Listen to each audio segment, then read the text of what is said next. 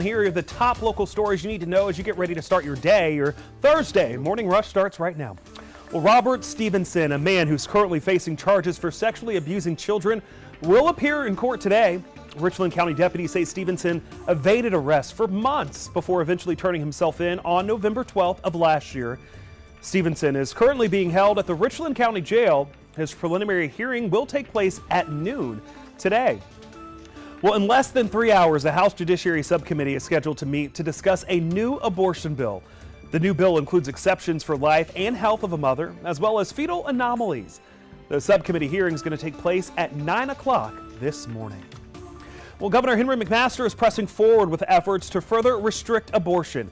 In his annual State of the State address last night, the governor said he plans to petition for a rehearing in response to the fetal heartbeat law being struck down by the state Supreme Court.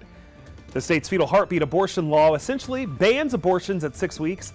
The governor was critical of the state Supreme Court that ruled the measure was unconstitutional.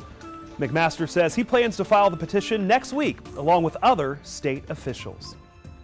And a former Lexington County probationary cadet is facing felony DUI charges this morning following an off duty car crash that took place on January 15th. Lexington County Sheriff Jay Koon says the man identified as Robert Garofalo was fired from the department yesterday. Garofalo is currently booked at the Richland County Jail. Well, that is your Thursday morning rush. For more local headlines, just head to our web channel, WLTX.com. You can also find the very latest by downloading the free News 19 app.